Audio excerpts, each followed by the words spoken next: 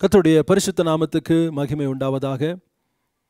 கத்துடைய வார்த்தையை கேட்பதற்கு அவருடைய வேதத்தை தியானிப்பதற்கு தேவன் நமக்கு கொடுத்த நல்ல நேரத்துக்காக ஆண்டவருக்கு நன்றி சொல்லுவோம். ஆண்டவரை நோக்கி நாம் ஜெபிக்கலாம். ஜெபித்து நாம் ஆரம்பிப்போம். சர்வ வல்லமை உள்ள எங்கள் நல்ல ஆண்டவரே நன்றியோடு துதிக்கிறோம் ஸ்தோத்திரிக்கிறோம். கத்துடைய சமூகத்திலே நாங்கள் வந்து உமை ஆராதிக்கவும் துதிக்கவும் மகிமைப்படுத்தவும் ஆண்டவரே உம்முடைய சமூகத்திலே காத்திருக்கவும் தேவன் கொடுத்த கிருபைக்காக நன்றி சொல்லுகிறோம். அப்பா விசேஷமாய் உம்முடைய வார்த்தையை தியானிக்கும் பொழுது எங்களோடு கூட பேசுங்கப்பா. நீர் பேசுகிற தேவன் எங்களுக்கு கற்றுத்தாரும் ஆண்டவரே. இந்த உலகத்தில் ஆண்டவரே நாங்கள் ஜெயமுள்ளவர்களாய் வாழ கத்திர எங்களுக்கு உதவி செய்யும். உம்முடைய பரிசுத்த கரங்களிலே எங்களை தாழ்த்தி ஒப்புவிக்கிறோம். ஆசீர்வதியும் வழி நடத்தும் இந்த நேரம் முழுவதையும் கத்தருடைய கரத்திலே கத்தருடைய ஆளுகைக்குள்ளே ஒப்பு கொடுக்கிறோம் ஆண்டவராக இயேசு கிறிஸ்துவின் நாமத்தில் ஜெபிக்கிறோம். நல்ல பிதாவே ஆமேன். முதலாவது நாம் ஒரு பாடலை சேர்ந்து பாடுவோம். அதைத் தொடர்ந்து ஆண்டவருடைய வார்த்தையை நாம் தியானிப்போம்.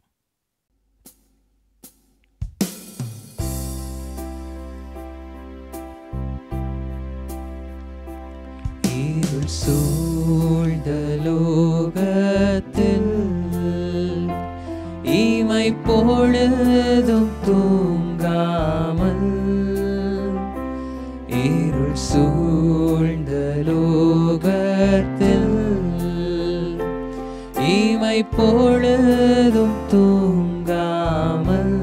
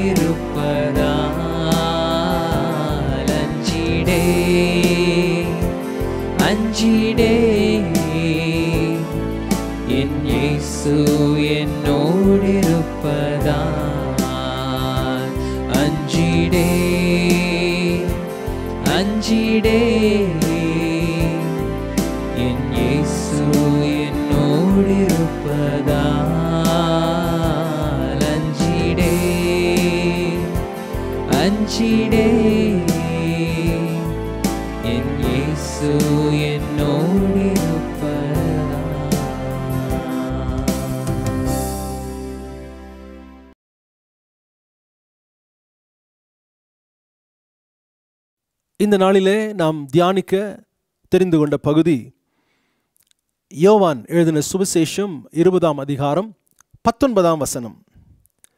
வாரத்தின் முதல் நாளாகிய அன்றைய தினம் சாயங்கால வேளையிலே சீஷர்கள் கூடியிருந்த இடத்தில் யூதர்களுக்கு பயந்ததினால் கதவுகள் பூட்டப்பட்டிருக்கையில் இயேசு வந்து நடுவே நின்று உங்களுக்கு சமாதானம் என்றார். ஆண்டவராக இயேசு கிறிஸ்து உயிர்த்தெழுந்த நாள். அன்றைக்கு நடந்த சம்பவம் இது. வாரத்தின் முதலாம் நாள் சாயங்கால வேளை.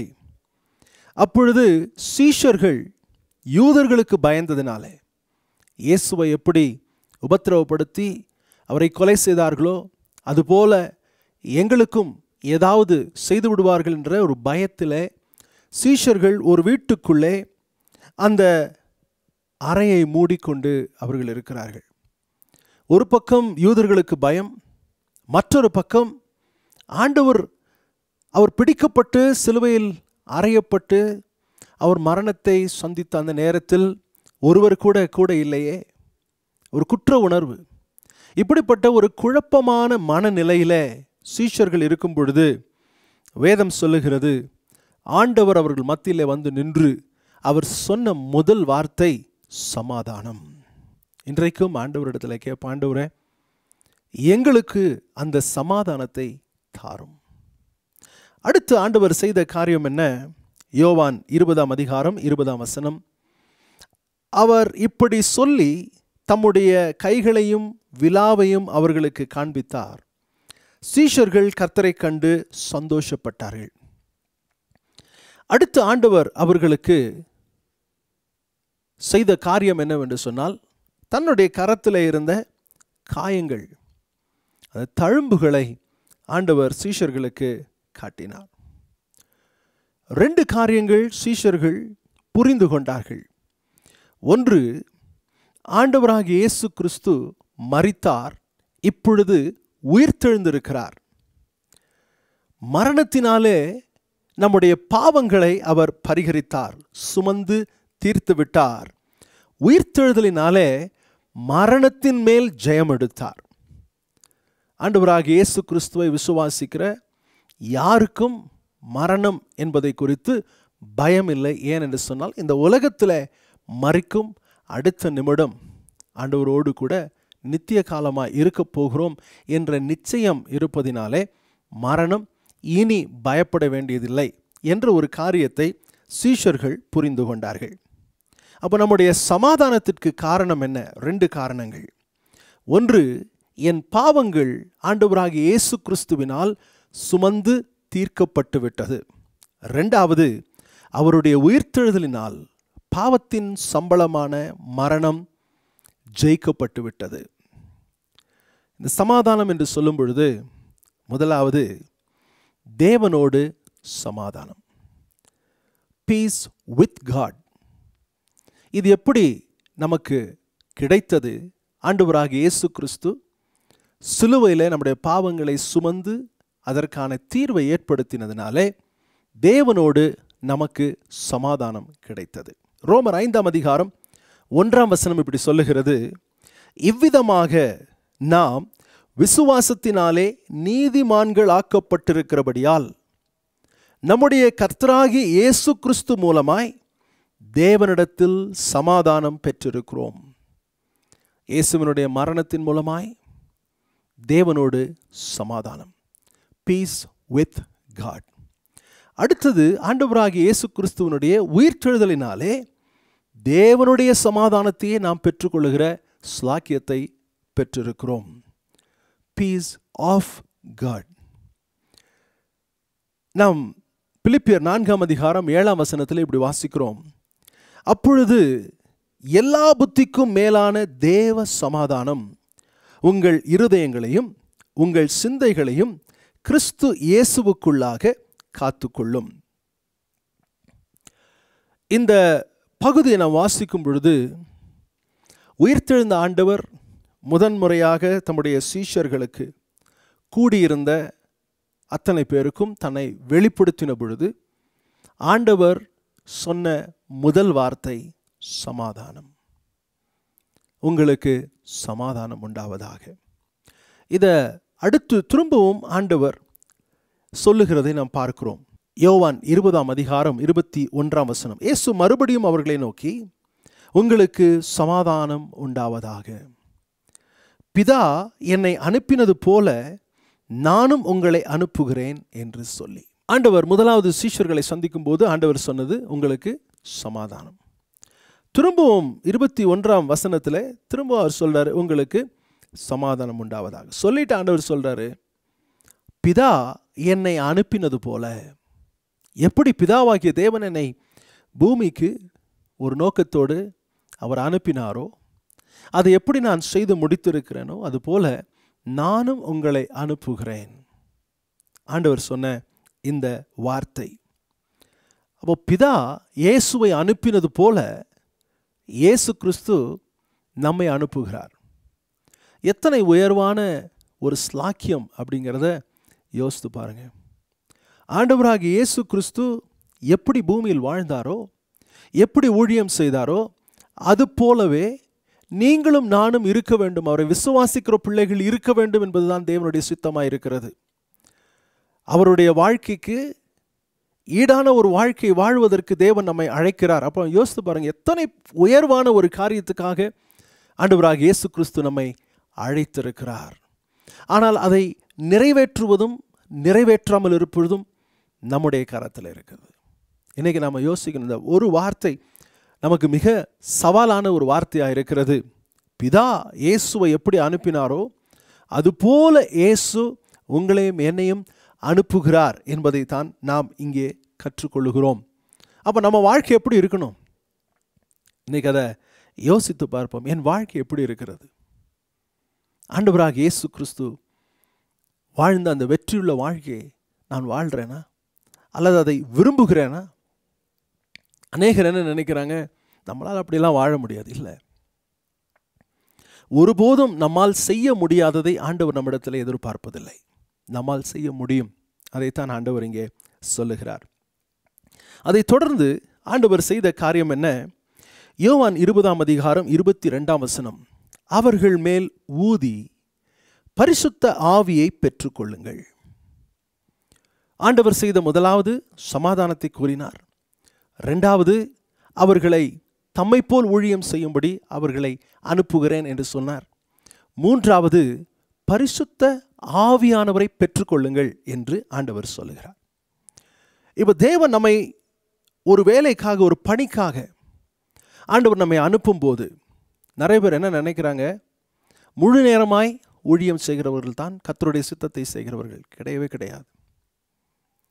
நீங்கள் உங்களுடைய குடும்பத்தில் உங்களுடைய சமுதாயத்தில் உங்களுடைய வேலை ஸ்தலத்தில் நீங்கள் ஆண்டவரை வெளிப்படுத்த முடியும் உங்களுடைய வாழ்க்கையின் மூலமாக.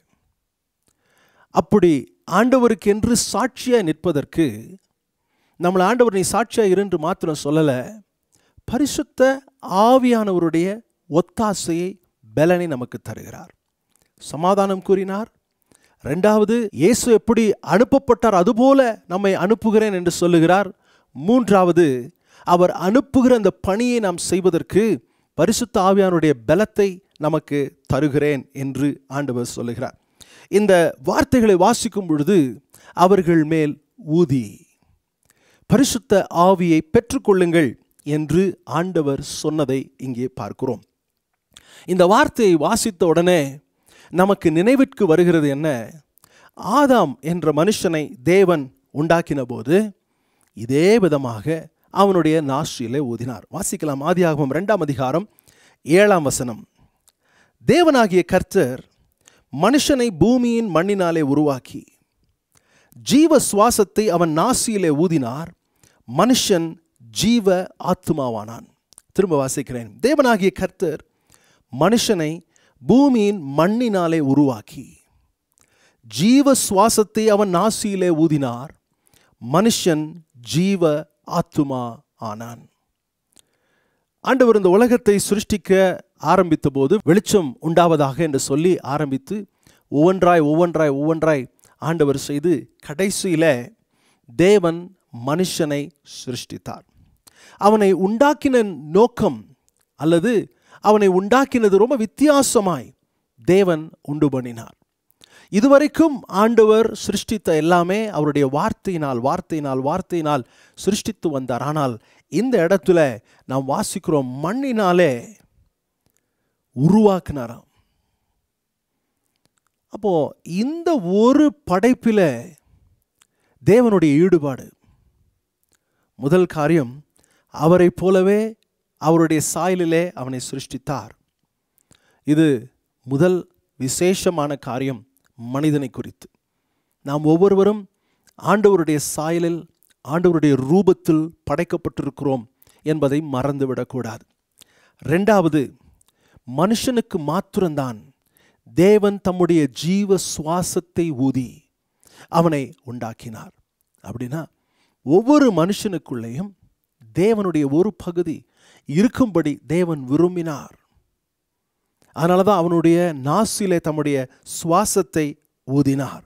அப்போ சிருஷ்டிப்புகள் எல்லாவற்றிலும் தேவனுடைய சுவாசத்தை பெற்றது மனிதன் மாத்திரமே.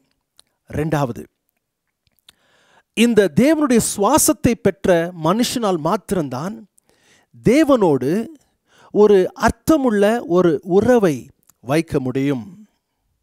மூன்றாவது தேவன் சிருஷ்டித்த எல்லாவற்றையும் ஆளுகை செய்து கீழ்ப்படுத்தக்கூடிய ஒரு தகுதி மனுஷனுக்கு மாத்திரம்தான் இருந்தது. அடுத்தது தேவனைப் போலவே அதிகாரத்துடன் செயல்படக்கூடிய ஒரு கிருபை மனுஷனுக்கு மாத்திரம் இருந்தது. கடைசியாக தேவனுடைய சித்தம் இன்னதென்று அறிந்து செயல்பட மனுஷனுக்கு தேவன் உதவி செய்தார். அப்போ மனுஷனுடைய சிருஷ்டிப்பு மிகவும் விசேஷமான ஒன்றாக இருந்தது இதுதான் ஆரம்பத்திலே தேவன் மனிதனை குறித்து வைத்த சித்தம். ஆனால் ஆதாமனுடைய கீழ்ப்படியாமையினாலே இந்த எல்லா ஆசீர்வாதங்களையும் அனுகூலங்களையும் மனிதன் இழந்து போனான். பாவம் செய்தபோது அவன் மறித்தான் எப்படி மறித்தான் தேவனிடத்திலிருந்து அந்த ஜீவ சுவாசத்திலிருந்து அவன் பிரிக்கப்பட்டான். அதற்கு பிறகு அவனுடைய வாழ்க்கையில வீழ்ச்சி வீழ்ச்சி வீழ்ச்சி. எதுவரைக்கும் மனுக்குலம் வீழ்ந்து கொண்டிருந்தது தேவன் மனிதனாய் பூமியிலே வந்து நம்முடைய பாவத்தை சிலுவையில் பரிகரிக்கும் வரைக்கும் மனிதன் பாவத்திலே சிக்குண்டவனாய் கிடந்து கொண்டே இருந்தான். இப்ப ஆண்டவராக இயேசு கிறிஸ்து பூமியின் வந்த நோக்கம் என்ன? மனுஷனை தேவனுடைய ஆதி திட்டத்துக்கு திருப்பி அவன் இழந்த கனத்தையும் மகிமையும் திரும்ப அவனுக்கு தர வேண்டும் என்பதற்காகவே ஆண்டவராக இயேசு கிறிஸ்து பூமியிலே வந்து மறித்து உயிர்த்தெழுந்தார். அப்போ பாவத்தினாலே மனுக்குலம் இழந்த சகலவற்றையும் ஆண்டவராக இயேசு கிறிஸ்து சீர்படுத்தும்படி இந்த பூமியிலே வந்தார். பிதா அனுப்பின அந்த பணியை ஆண்டவராக இயேசு கிறிஸ்து முடித்த பிறகு அவர் உயிர்த்தெழுந்த பிறகு அவர் செய்த காரியத்தை தான் நாம் வாசிக்கிறோம். முதலாவது அவர்களுக்கு சமாதானத்தை கூறினார். ரெண்டாவது அவரைப் போலவே அவர்கள் செயல்பட வேண்டும் என்று அவர்களுக்கு ஒரு அழைப்பை கொடுத்தார். மூன்றாவது பரிசுத்த ஆவியானவரை அவர்கள் பெற்றுக்கொள்ள வேண்டும் என்று ஆண்டவர் அங்கே அவர்கள் மேல் ஊதினார் என்று வாசிக்கிறோம். இந்த ஸ்லாக்கியம் இயேசு உயிர்த்தெழுந்த பிறகு மட்டுமே கிடைக்கக்கூடிய ஒரு ஸ்லாக்கியமாய் இருக்கிறது. ஏனென்று சொன்னால் அதுவரைக்கும் பாவம் பரிசுத்த ஆவியானவரை பெற்றுக்கொள்வதற்கு ஒரு தடையாய் இருந்தது. ரோமர் பத்தாம் அதிகாரம் ஒன்பதாம் வசனத்தில் இப்படி வாசிக்கிறோம். என்னவென்றால் கர்த்தராகிய இயேசுவை நீ உன் வாயினாலே அறிக்கையிட்டு தேவன் அவரை மறித்தோரிலிருந்து எழுப்பினார் என்று உன் இருதயத்தில் விசுவாசித்தால் ரட்சிக்கப்படுவாய் ரட்சிப்பு என்ற ஒரு மிகப்பெரிய ஒரு வார்த்தை வேதத்தில் பயன்படுத்தப்படுகிறது. ரட்சிக்கப்பட்டேன் காப்பாற்றப்பட்டேன். இனி பாவத்தின் சம்பளமாகிய மரணத்துக்கு நான் விலக்கி காக்கப்படுகிறேன். நான் மீட்கப்பட்டிருக்கிறேன்.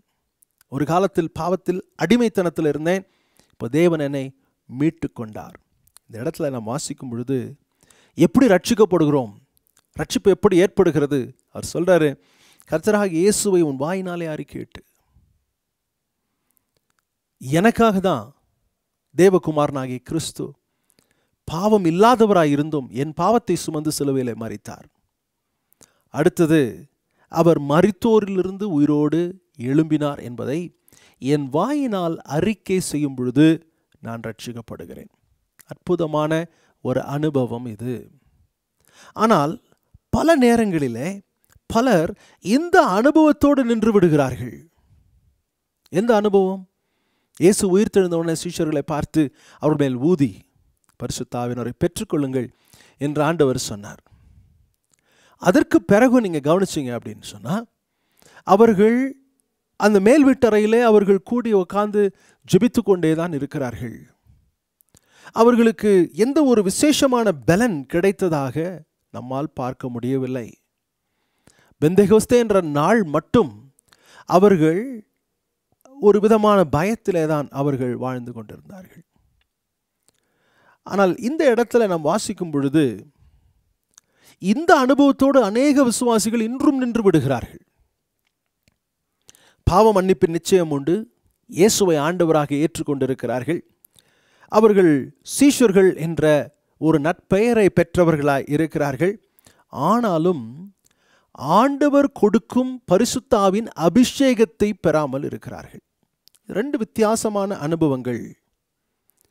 இயேசு அவர்களை உயிர்த்தெழுந்த நாளிலே அவர்கள் மேல் ஊதி பரிசுத்தாவை பெற்றுக்கொள்ளுங்கள் என்று ஆண்டவர் சொன்னார். ஆனால் பெந்தைகோஸ்தே என்ற நாள் வந்தபோதுதான் பரிசுத்த ஆவினவர்கள் மேல் ஊற்றப்படுகிறார். அதைத்தான் ஆண்டவர் சொல்லும் பொழுது இப்படி சொல்லுகிறார். அப்போஸ்தலர் ஒன்றாம் அதிகாரம் நான்கு ஐந்தில் இப்படி வாசிக்கிறோம். அன்றியும் அவர் அவர்களுடனே கூடி வந்திருக்கும் போது அவர்களை நோக்கி யோவான் ஜலத்தினாலே ஞானஸ்நானம் கொடுத்தான். ஏற்கனவே ஞானஸ்நானம் என்றால் என்ன என்பதை நாம் அறிந்திருக்கிறோம். ஞானஸ்நானம் என்ற வார்த்தை பாப்டைசோ என்று சொல்லப்படுகிற கிரேக்க வார்த்தையிலிருந்து மொழிபெயர்க்கப்பட்டுள்ளது. அதனுடைய அர்த்தம் மூழ்குதல். அப்போ யோவான் ஜலத்தினாலே ஜலத்துக்குள் உங்களை மூழ்கி ஞானஸ்நானம் கொடுத்தான். நீங்கள் சில நாளுக்குள்ளே பரிசுத்த ஆவினாலே ஞானஸ்நானம் பெறுவீர்கள். அப்படின்னா எப்படி? நீங்கள் தண்ணீருக்குள்ளே மூழ்கி ஞானஸ்நானம் பெற்றீர்களோ அதுபோல பரிசுத்த ஆவியானவருக்குள் நீங்கள் ஞானஸ்நானம் பெறப்போகிறீர்கள் என்று இங்கே சொல்லுகிறதை நாம் பார்க்கிறோம். அப்போ சில ஒன்று அஞ்சு ஆகையால் நீங்கள் எருசலேமை விட்டு போகாமல் என்னிடத்தில் கேள்விப்பட்ட பிதாவின் வாக்குத்தத்தம் நிறைவேற காத்திருங்கள் என்று கட்டளையிட்டார். இப்போ ஆண்டவர் உயிர்த்தெழுந்து பரமேறப் போகிறார். அதற்கு முன்பதாக சீஷர்களுக்கு ஒரு கட்டளை கொடுக்கிறார். நீங்கள் எருசலேமை விட்டு போகாதீங்க. நீங்கள் எருசலேமில் காத்திருங்கள். அப்பொழுது பிதாவினுடைய வாக்குத்தத்தம் தத்தம் பரிசுத்தாவியானுடைய அபிஷேகம் நீங்கள் பெற்றுக்கொள்வீர்கள் என்று ஆண்டவர் இங்கே சொல்லுகிறதை நாம் பார்க்கிறோம். அப்போ ரெண்டு வித்தியாசமான அனுபவங்களை குறித்து ஆண்டவர் இங்கே சொல்லுகிறார். முதலாவது அவர்கள் மேல் ஊதி பரிசுத்தாவை பெற்றுக்கொள்ளுங்கள் என்று சொன்னார். இப்போ அடுத்து சொல்றார் நீங்க காத்திருங்கள். பரிசுத்தாவின் அபிஷேகத்தை பெற்றுக்கொள்வீர்கள். பல நேரங்களில் இந்த பரிசுத்தாவியனுடைய அபிஷேகம் என்பது ஏதோ ஒரு குறிப்பிட்ட பிரிவினரை சேர்ந்தது என்று பலர் நினைத்து விடுகிறார்கள். இந்த வேத புஸ்தகத்தில் தேவன் அவருடைய பிள்ளைகளுக்கு வைத்திருக்கிற சகல ஆசீர்வாதங்களை நாம் பெற்றுக்கொள்ளணும். அந்த தேவ சித்தமாக இருக்குது. ஆனாலும் வேதத்தை அவர் நம்முடைய கையில் எழுதி கொடுத்திருக்கிறார். ஆனாலும் பரிசுத்தாவினுடைய அபிஷேகத்தை பெற்றிருக்கிறேன் என்று சொல்லுகிற ஒரு சிலருடைய வாழ்க்கையை பார்த்து நிறைய பேர் இந்த பரிசுத்தாவின் அபிஷேகம் அப்படின்னாலே ஒரு விதமான தயக்கம் அவர்களுக்குள்ள இருக்கிறதை நம்மால் பார்க்க முடிகிறது. நீங்கள் பார்க்கிற இப்படிப்பட்ட நபர்கள் மெய்யான பரிசுத்தாவின் அபிஷேகம். வேதத்தில் சொல்லப்பட்ட அந்த அபிஷேகத்தை பெறாதவர்கள் அவங்க ஒருவேளை வாய்களிலே சொல்லலாம். நான் பெற்றிருக்கிறேன். வாழ்க்கையில் பார்த்தா வித்தியாசமாக இருக்கிறது. அப்போ அப்படிப்பட்ட தவறான முன் உதாரணங்களை பார்த்து அவனுடைய அபிஷேகம் வேண்டாம் அப்படின்னு ஒரு நாள் நம்ம நினைக்கக்கூடாது. ஏன் என்று சொன்னால் இது தேவன் அவருடைய பிள்ளைகளுக்கு கொடுக்கிற பிதாவினுடைய வாக்கு தத்துவம் இது தேவன் அதை விரும்புகிறார். நாம் ஒவ்வொருவரும் பரிசுத்தாவினால் அபிஷேகம் பெற்றுக்கொள்ள வேண்டும் என்பது தேவனுடைய விருப்பமாக இருக்கிறது அப்போதான் ஆண்டவரை போலவே நம்மால் ஊழியம் செய்ய முடியும். அப்பொழுதுதான் நம்முடைய வாழ்க்கை இயேசு எப்படி ஜெயம் எடுத்தார் அது போல ஒரு ஜெயமுள்ள வாழ்க்கையாக இருக்கும் இது ஒரு தனி அனுபவம் என்பதற்கு ஒரு ஆதாரத்தை முன்வைக்கிறேன். அப்போஸ்தலர் பத்தொன்பதாம் அதிகாரம் ஒன்று ரெண்டு ஆகிய வசனங்களில் இப்படி வாசிக்கிறோம். அப்பல்லோ என்பவன் கொரிந்து பட்டணத்தில் இருக்கையில் பவுல் மேடான தேசங்கள் வழியாய் போய் எபேசுவுக்கு வந்தான். அங்கே சில சீஷரை கண்டு. இப்போ பவுல் சில ஆண்டவருடைய சீஷர்களை பார்க்கிறார். பார்த்து அவர்களிடத்தில் ஒரு கேள்வி கேட்கிறார். அப்போ சிலர் பத்தொன்பதாம் அதிகாரம் ரெண்டாம் வசனம் நீங்கள் விசுவாசிகள் ஆனபோது பரிசுத்த ஆவியை பெற்றீர்களா? என்று கேட்டான். இவங்க விசுவாசிகள் ஆயிட்டாங்க இயேசுவை விசுவாசித்தாங்க அவருடைய உயிர்த்தெழுதலை விசுவாசித்தாங்க. அவர் சிலுவையில் பாவத்தை பரிகரித்ததை அவர்கள் விசுவாசித்தார்கள். இயேசுவை ஏற்றுக்கொண்டார்கள். இப்போ விசுவாசிகளாய் வாழ்ந்து கொண்டிருக்கிறார்கள். அவர்களை பார்த்து பவுல் கேட்கிற கேள்வி என்ன? நீங்கள் விசுவாசிகள் ஆனபோது பரிசுத்த ஆவியை பெற்றீர்களா? இந்த கேள்விக்கு அவருடைய பதில் என்ன?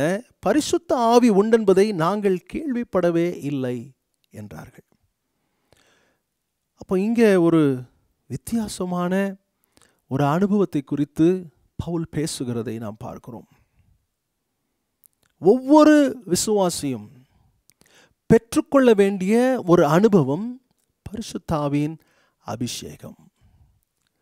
இதை குறித்த நிறைய சர்ச்சைகள் தவறான முன் உதாரணங்கள் சமூக வலைத்தளங்களில் பரப்பப்படுகிறது. கண்களால் நாம் பார்க்கிறோம். இதை பார்க்கும் பொழுது நாம் இடறுகிறோம். ஆனால் வேதம் என்ன சொல்லுகிறது? அப்போஸ்தலர் காலத்தில் ஆதி சபையில் அவர்கள் ஊழியம் செய்த பொழுது அவர்கள் எங்கெல்லாம் சுவிசேஷத்தை பிரசங்கித்தார்களோ அங்கெல்லாம் ஜனங்கள் கத்தரை ஏற்றுக்கொண்டார்கள். ரட்சிக்கப்பட்டார்கள் ரட்சிக்கப்பட்டவர்கள் தண்ணீரிலே மூழ்கி அவர்கள் ஞானஸ்நானம் பெற்றார்கள். ஞானஸ்நானம் பெற்றவர்கள் பரிசுத்த ஆவின் அபிஷேகத்தை பெற்றுக்கொண்டார்கள் என்று வேதத்தில் வாசிக்கிறோம். தனி அனுபவம் விசேஷமான அனுபவம். தேவன் தம்முடைய பணியை நாம் செய்ய வேண்டும். ஒவ்வொரு விசுவாசியும் செய்யணும் அதான் தேவனுடைய சித்தம். அவர்கள் அதை வெற்றியாய் செய்வதற்கு தான் தேவன் பரிசுத்த ஆவியானவரை நமக்கு உதவியாக ஆலோசகராக நமக்கு சத்தியத்தை கற்றுக் கொடுக்கிறவராக நம்மோடு கூட கொடுக்கிறார். இன்னைக்கு ஆண்டவர்கிட்ட கேளுங்க ஆண்டவரே. இந்த சீஷர்களைப் போல நாங்கள் இருக்கிறோம் என்றால் ரட்சிப்பின் அனுபவத்தோடு நாங்கள் திருப்தி ஆயிட்டோம் அப்படின்னு சொன்னால் இன்னைக்கு நாங்கள் கேட்குறோம் சுவாமி இன்றைக்கு நாங்கள் கேட்கிற இந்த வார்த்தையின்படி இந்த பரிசுத்த ஆவியின் அபிஷேகம் அந்த அனுபவத்தை எங்களுக்கு தாரும் என்று சொல்லி கேளுங்களேன். முழு மனதோடு ஆண்டவர்கிட்ட கேளுங்க அப்பா நாங்கள் எப்படிலாம் வாழணும் அப்படிங்கிறது நீங்கள் சுத்தம் வைத்திருக்கிறீங்களோ அந்த அனுபவங்கள் அத்தனையும் எங்களுக்கு வேண்டும். விசுவாச வாழ்க்கை என்பது இயேசுவை பின்பற்றி செல்கிற வாழ்க்கை என்பது சாதாரணமான ஒரு வாழ்க்கை அல்ல. ரொம்ப அற்புதமான ஒரு வாழ்க்கை. ஜெயமாய் வாழக்கூடிய ஒரு வாழ்க்கை. அதற்கு உதவி செய்வதற்காகவே பரிசுத்த ஆவியானவரை நமக்கு தேவன் தர அபிஷேகத்தை தர தேவன் சித்தமாயிருக்கிறார். தண்ணிக்குள்ளே எப்படி மூழ்கி ஞானஸ்தானம் எடுக்கிறார்களோ அதுபோல பரிசுத்த ஆவியானவர் மூழ்கின ஒரு அனுபவம். தொடர்ந்து நாம் வேதத்தில் வாசிக்கும் பொழுது அந்த பகுதியில் அதற்கு பிறகு அந்த சீஷர்கள் பரிசுத்த ஆவின் அபிஷேகத்தை பெற்றுக்கொண்டார்கள்.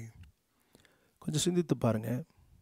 பவுலை போன்ற அப்போஸ்தலர்கள் பல இடங்களுக்கு சென்று சுவிசேஷத்தை பிரசங்கித்தார்கள். பல ஊர்களுக்கு சென்று பிரசங்கித்தார்கள். அவருடைய வார்த்தைகளை கேட்டவர்கள் சுவிசேஷத்தை கேட்டவர்கள் ரட்சிக்கப்பட்டார்கள். ரட்சிப்பு என்ற அனுபவத்தை பெற்றுக்கொண்டார்கள். ஆனால் இவங்களால் தொடர்ந்து அந்த இடத்துல பல நாட்கள் பல மாதங்கள் இருக்க முடியாது. குறுகிய காலம் ஊழியம் செய்வாங்க வந்துடுவாங்க ஆனால் அந்த சபை எப்படி வளர்ந்தது? பரிசுத்தாவினுடைய அபிஷேகத்தை யார் ஒருவர் பெற்றுக்கொள்ளுகிறார்களோ? ஆண்டவர் சொல்ல என்னை விசுவாசிக்கிறவன் இடத்திலிருந்து ஜீவ நதிகள் புறப்பட்டு ஓடும்.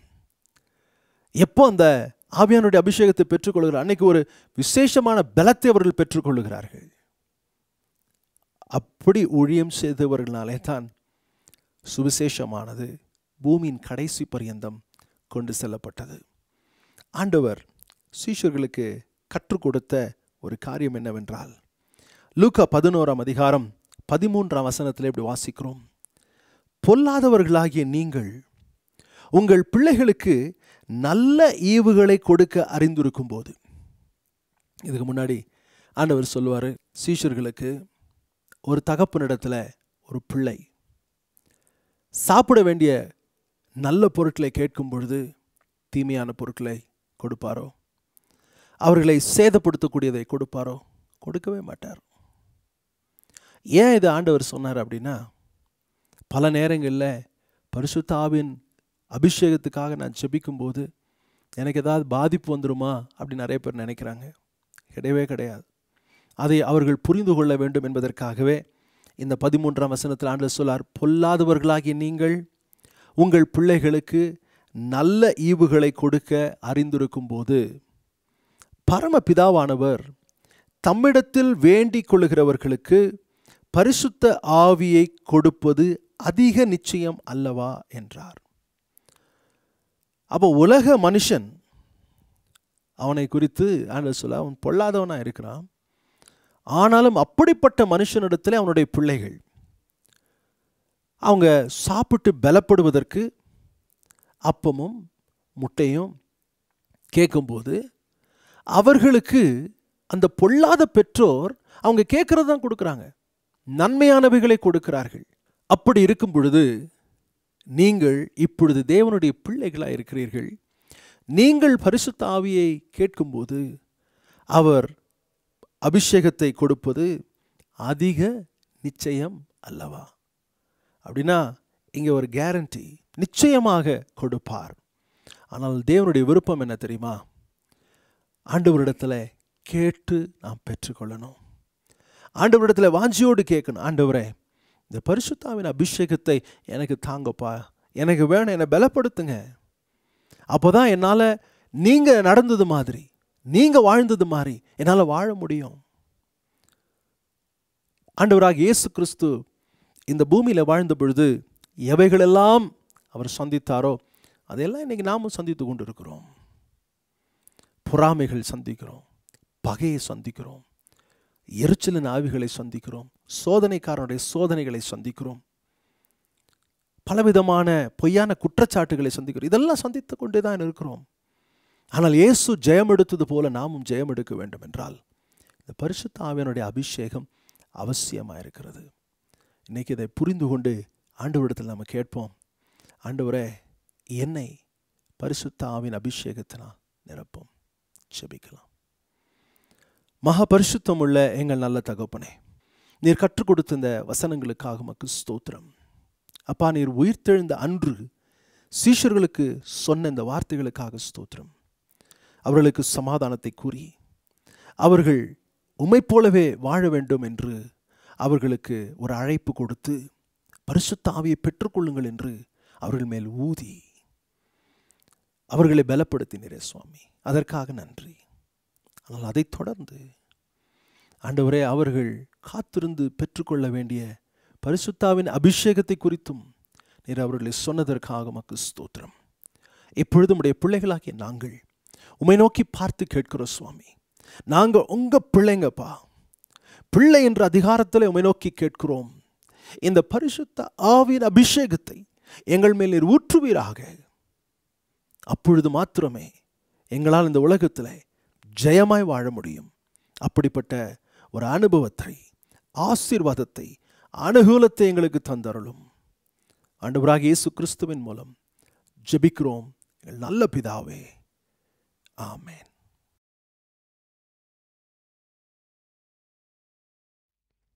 கர்த்தராகிய இயேசு கிறிஸ்துவின் நாமத்தில் யாவருக்கும் அன்பின் வாழ்த்துக்கள். இந்த நாளிலும் நாம் இருக்கின்ற இடங்களிலே தேவனை முழு இருதயத்தோடு ஆராதிப்போம். Amen. இன்றைய நாளில் சுகம் அளிக்கிற தேவனாய் இருக்கிறார் அவர் தருகிற சுகம் நிரந்தரமாய் இருக்கிறது ஒரு விஷயாய் தேவனிடத்துல இன்றைய நாளில் ஒப்பு கொடுக்கலாம் நம்ம இடத்துல ஏதேனும் சுகவினங்கள் இருந்தால் தேவனுடைய சமூகத்தில் இந்த ஆராதனை வேளையில் ஒப்பு கொடுப்போம் இன்று சுகம் அளிக்கிற தேவனாய் இருக்கிறார் உணர்ந்தவர்களாய் நாம் யாவரும் பாடுவோம் சுகம் உண்டு பலன் உண்டு என்ற பாடலை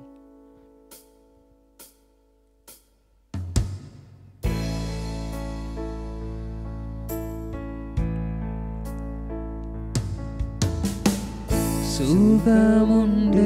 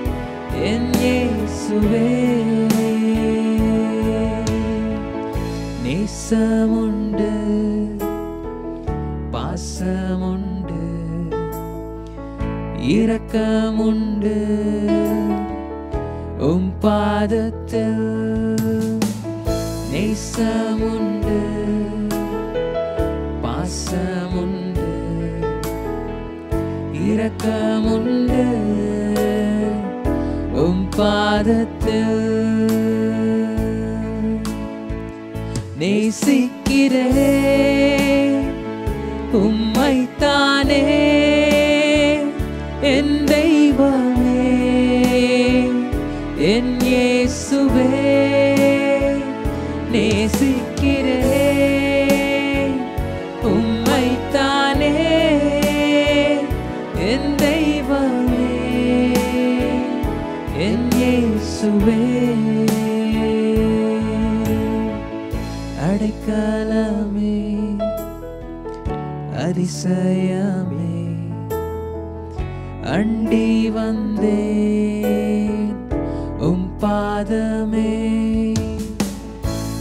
كلام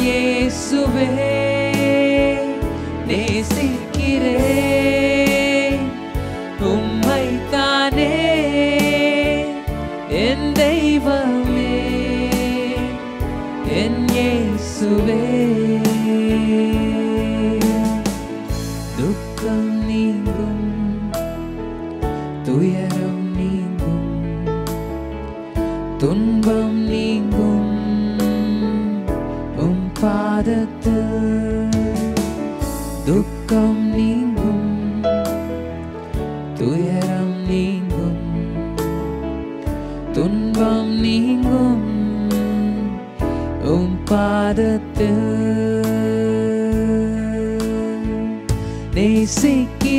நேசிக்கிறேன் உம்மை தானே என் தெய்வமே என் இயேசுவே.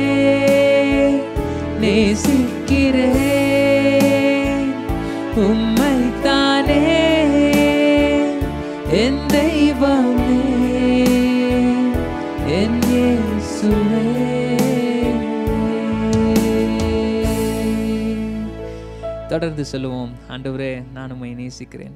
ஏனென்றால் நம்முடைய ஜீவனுள்ள தேவன் மாத்திரம்தான் நாம் பாவிகளாக இருக்கையில முந்தி நம்மிடத்தில் அன்பு கூர்ந்து நமக்காக கிருபாதார பலியாக ஒப்பு கொடுக்கப்பட்டு அடிக்கப்படுகிற ஆட்டை போல எடுத்துக்கொள்ளப்பட்டு நமக்காக அடிக்கப்பட்டு நொறுக்கப்பட்டு நம்முடைய பாவங்களை எல்லாம் அவர் மேல் சுமந்து கொண்டு நமக்காக பரிகார பலியானார். அவருடைய தள்ளுமுகளினாலே நாம் சுகமாயிருக்கிறோம்.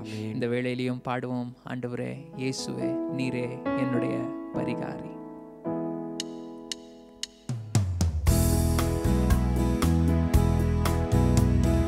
இயேசு என் பரிகாரி. இன்ப இயேசு என் பரிகாரி. என் ஜீவிய நாட்களெல்லாம் இன்ப ராஜா என் பரிகாரி. என் ஜீவிய நாட்களெல்லாம் இன்ப ராஜா என் பரிகாரி. இயேசு என் பரிகாரி. இன்ப இயேசு என் பரிகாரி என் ஜீவிய நாட்களெல்லாம் இன்ப ராஜா என் பரிகாரி என் ஜீவிய நாட்களெல்லாம் இன்ப ராஜா என் பரிகாரி. எனக்காக அடிக்கப்பட்டார் எனக்காக நொறுக்கப்பட்டார் எனக்காக அடிக்கப்பட்டார். எனக்காக நொறுக்கப்பட்டார். எந்த நோய்கள் யாவையுமே எந்த இயேசு சுமந்து தீர்த்தார். எந்த நோய்கள் யாவையுமே இன்ப இயேசு சுமந்து தீர்த்தார். இயேசு என் பரிகாரே. இன்ப இயேசு என் பரிகாரி என் ஜீவிய நாட்களெல்லாம் ராஜா என் பரிகாரி என் ஜீவிய நாட்களெல்லாம் இன்ப ராஜா என் பரிகாரி. வார்த்தைகள் எந்த மருந்து காயங்கள் எந்த ஔஷதம்? வார்த்தைகள் எந்த மருந்து காயங்கள் எந்த ஔஷதம். சுரத்தம் பீசின் தைலமே என்னை நித்தம் சுகமாக்குமே. ஏசு ரத்தம் பீசின் தைலமே என்னை நித்தம் சுகமாக்குமே.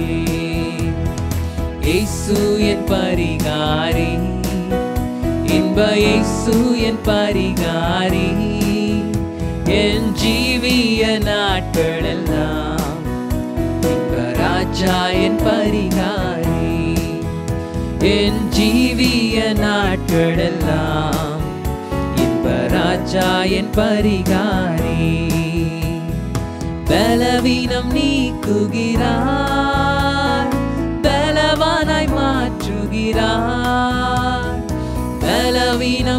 நீக்குகிறார் பலவானாய் மாற்றுகிறார். கழுகுக்கு சமானமாக பல வயதாக மாற்றுகிறார். கழுகுக்கு சமானமாக பல வயதாக மாற்றுகிறார். இயேசு என் பரிகாரி இன்ப இயேசு என் பரிகாரி. பாடுகளெல்லாம் இன்ப ராஜா என் பரிகாரி என் ஜீவிய நாட்களெல்லாம் இன்ப ராஜா என் பரிகாரி. அப்பத்தையும் தண்ணீரையும் அனுதினம் ஆசிர்வதிப்பார். அப்பத்தையும் தண்ணீரையும் அனுதினம் ஆசிர்வதிப்பார். வியாதிகளை விளக்கிடுவார். வாழ்நாளை பூரணமாக்குவார். வியாதிகளை விளக்கிடுவார். வாழ்நாளை பூரணமாக்குவார். இயேசு என் பரிகாரி. இன்ப இயேசு என் பரிகாரி. என் ஜீ ஜீவிய நாட்களெல்லாம் இன்ப ராஜா என் பரிகாரி. என் ஜீவிய நாட்களெல்லாம் இன்ப ராஜா என் பரிகாரி. நம்முடைய பரிகாரியாகிய இயேசு கிறிஸ்துவை இந்த நாளில் உயர்த்தி துதித்து பாடுவோம். அவர் வந்தால் எல்லா சூழ்நிலைகளும் மாறிடும். லாசரு இருந்தபோது அவருக்காக கண்ணீர் வடித்த நம்முடைய தேவன். இன்றும் நமக்காக கண்ணீர் சிந்துகிற ஒரு தெய்வம் உண்டென்றால் அது நம்முடைய நாதர் இயேசு கிறிஸ்து மாத்திரமே. இன்று நம்முடைய கவலைகள் கஷ்டங்கள் துயரங்கள் எல்லாவற்றையும் தேவனுடைய சமூகத்தில் ஒப்பு கொடுப்போம் மாறிடும் என்று நிச்சயத்தோடு தேவனுடைய சமூகத்தில் ஒப்பு கொடுப்போம் நிச்சயமாய் தேவன் யாவற்றையும் மாற்ற வல்லவராய். உணர்ந்தவர்களாய் தேவனுடைய சமூகத்தில் பாடுவோம்.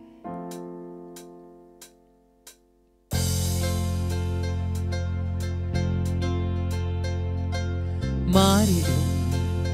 எல்லாம் மாறிடும். என் இயேசுவாலே எல்லாம் மாறிடும். மாறிடும்.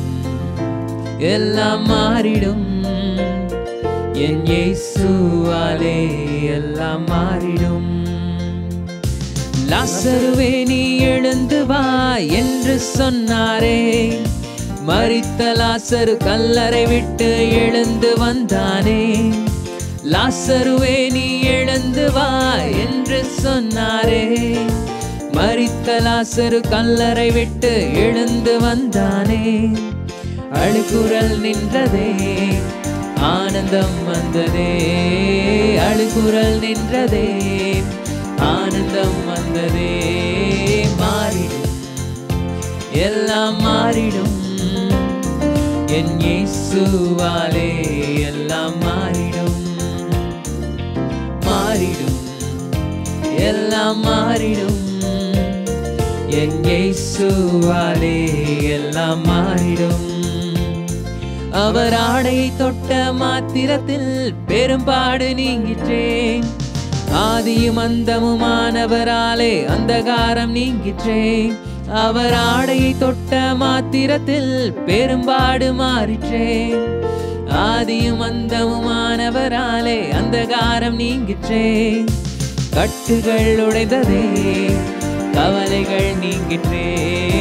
கட்டுகள் உடைந்ததே கவலைகள் நீங்கிற்றே. மாறிடும் எல்லாம் மாறிடும். என் இயேசுவாலே எல்லாம் மாறிடும். எல்லாம் மாறிடும். என் இயேசுவாலே எல்லாம் மாறிடும். அவர் ஆடை தொட்ட மாத்திரத்தில் பெரும்பாடு மாறிற்றே. ஆதியும் அந்தமுமானவராலே அந்தகாரம் நீங்கிற்றே. அவர் ஆடை தொட்ட மாத்திரத்தில் பெரும்பாடு மாறிற்றே.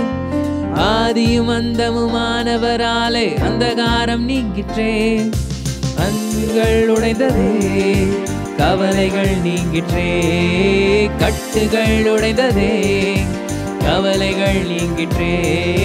மாறிடும் எல்லாம் மாறிடும். என் இயேசுவாலே எல்லாம் மாறிடும். மாறிடும் எல்லாம் மாறிடும். என் இயேசுவாலே என்று சொன்னாரே திரைக்கடல் அடங்கிற்றே. அமைதலாயிரு என்றாரே அலைகளும் ஓய்ந்ததே இறையாதே என்று சொன்னாரே திரைக்கடல் அடங்கிற்றே. அமைதலாயிரு என்றாரே அலைகளும் ஓய்ந்ததே பயங்கள் பறந்ததே நம்பிக்கை பிறந்ததே. பயங்கள் பறந்ததே. நம்பிக்கை பிறந்ததே. மாறிடும். எல்லாம் மாறிடும். என் இயேசுவாலே எல்லாம் மாறிடும். மாறிடும். எல்லாம் மாறிடும். என் இயேசுவாலே எல்லாம் மாறிடும். பரிசுத்த வேதாகமம் பரிசுத்த ஆவியானவரை குறித்து நமக்கு இப்படியாய் சொல்லுகிறது. பரிசுத்த ஆவியானவர் நம்மிடத்தில் வரும்போது நாம் பலனடைவோம். மேலும் ரோமருக்கு எழுதின நிறுவம் ஐந்தாம் அதிகாரம் ஐந்தாம் வசனத்தில் இப்படியாய் சொல்லப்பட்டிருக்கிறது. மேலும் நமக்கு அருளப்பட்ட பரிசுத்த ஆவியினாலே தேவ அன்பு நம்முடைய இருதயங்களிலே ஊற்றப்பட்டிருக்கிறபடியால் அந்த நம்பிக்கை நம்மை ஒரு காலம் வெட்கப்படுத்தாது. ஆவியானவரை நாம் சார்ந்து நிற்கும்போது அவரையே நாம் நம்பிக்கையாய் கொண்டிருக்கும் போது நாம் ஒரு காலம் வெட்கமடைவதில்லை. எனவே இந்த நேரத்திலே நோக்கி பாடுவோம். எங்களை அனலாக்கும் எங்களை பலப்படுத்தும்.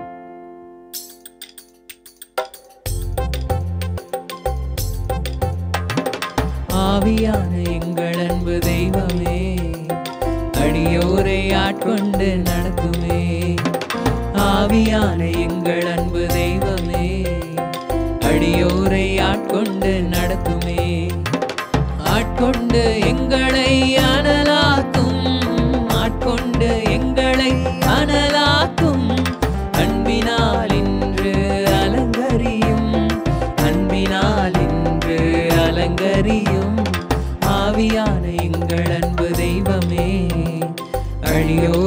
ஆட்கொண்டு நடத்துமே ஆவியான எங்கள் அன்பு தெய்வமே அடியோரை ஆட்கொண்டு நடத்துமே. ஜெபிக்க வைக்கும் எங்கள் ஜப வீரனே துதிக்க தூண்டும் துணையாளரே. ஜெபிக்க வைக்கும் எங்கள் ஜப வீரனே துதிக்க தூண்டும் துணையாளரே. சாத்தானின் சகல தந்திரங்கள் தகத்தெறிய வாருமையா சாத்தானின் சகல தந்திரங்களை தகத்தெறிய வாருமையா ஆட்கொண்டு எங்களை அனலாக்கும் ஆட்கொண்டு எங்களை அனலாக்கும். அன்பினால் இன்று அலங்கரியும் அன்பினால் இன்று அலங்கரியும். ஆவியான எங்கள் அன்பு தெய்வமே அடியோரை ஆட்கொண்டு நடத்துமே. ஆவியான எங்கள் அன்பு தெய்வமே அடியோரை ஆட்கொண்டு நடத்துமே. சாவுக்கேதுவான எங்கள் சரீரங்களை உயிர் பெற செய்பவரே. சாவுக்கேதுவான எங்கள் சரீரங்களை உயிர் பெற செய்பவரே. சரீரங்களின் தீய செயல்களை சாகடிக்க வாருமையா? சரீரங்களின் தீய செயல்களை சாகடிக்க வாருமையா? ஆட்கொண்டு எங்களை அனலாக்கும் ஆட்கொண்டு எங்களை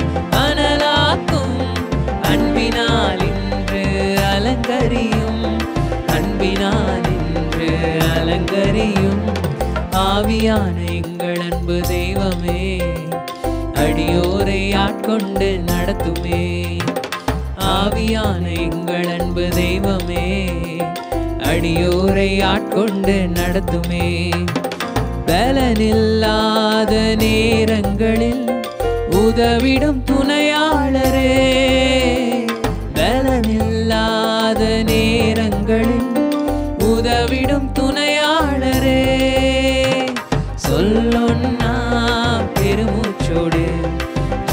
ஜெபித்திட வாருமையா?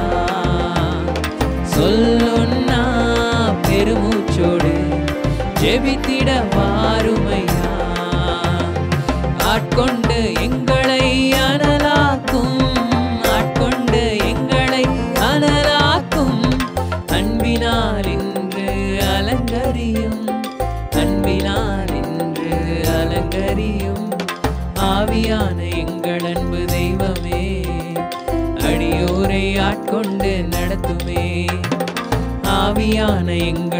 தெய்வமே அடியோரை ஆட்கொண்டு நடத்துமே.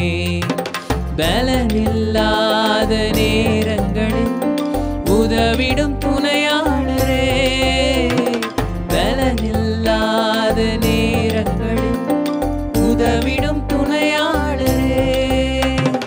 சொல்லொன்னா பெருமூச்சோடு ஜெபித்திட வாருமையா.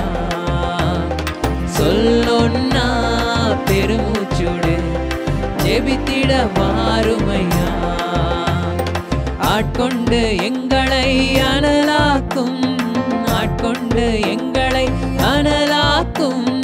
அன்பினால் என்று அலங்கரியும் அன்பினால் என்று அலங்கரியும். ஆவியான எங்கள் அன்பு தெய்வமே அடியோரை ஆட்கொண்டு நடத்துமே.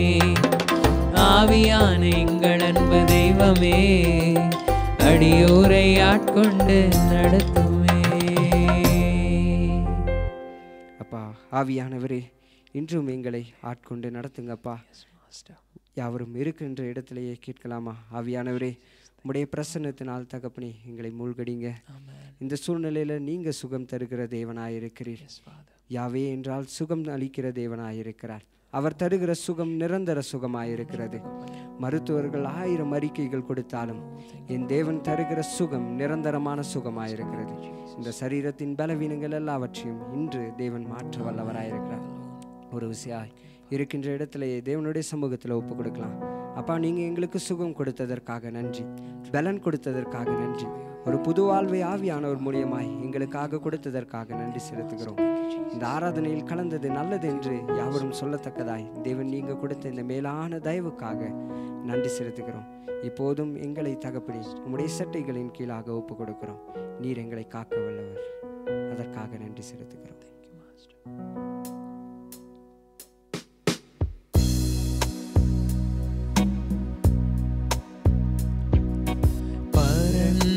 காக்கும் பட்சியை போல எங்களை காக்கும் கர்த்தாவே.